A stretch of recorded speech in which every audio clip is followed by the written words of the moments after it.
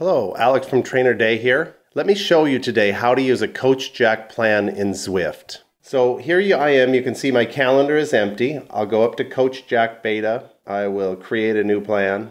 I'm gonna, well, I can use Strava. Ask me my name. No, I don't have a specific goal. Let's do a 12 week plan. I'd like to do climbing. No injuries.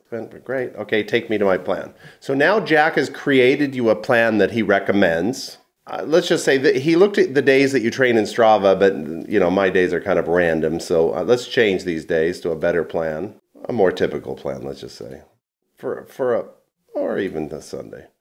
Okay, Tuesday, Wednesday, Saturday, Sunday, and let's do our long rides on Saturdays. Okay, and then you can see here I've got a ramp rate, which means how much does it increase over time. You can flatten that down or increase it. Um, you can see my start hours is 11, but I will go ahead and change that to like 6. And here's a plan for me. So now I've got my plan, I like it. I could change it to a different type of plan, or I can even create a custom plan. And a custom plan just lets the, you pick the workout sequences each week that you like. So maybe I want, I like threshold blocks, or I like something else. But I'll go ahead and stick with the serious Italian and I'll say, okay, that's a great plan. If I want, for example, to customize my daily limits, I can select that and change it so I only train 45 minutes on Tuesdays or whatever I want. And then I click Save and Next. And then it says, go ahead and send it to my calendar.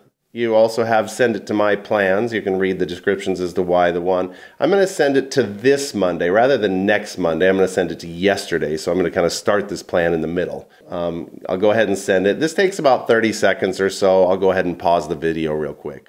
Okay, that actually took about 15 seconds to do, 12 weeks. And so uh, here I am and you can see that I didn't it didn't send today's workout it just started with tomorrow and uh, and it started with this threshold workout. So I could, let's say, move this to here today. So then the next thing you need to do is you need to go to your apps and devices. If you don't have a Training Peaks account already, you should create one.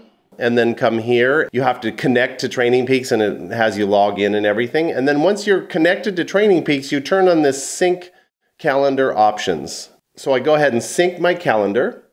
And if I go to Training Peaks right now, my calendar is empty.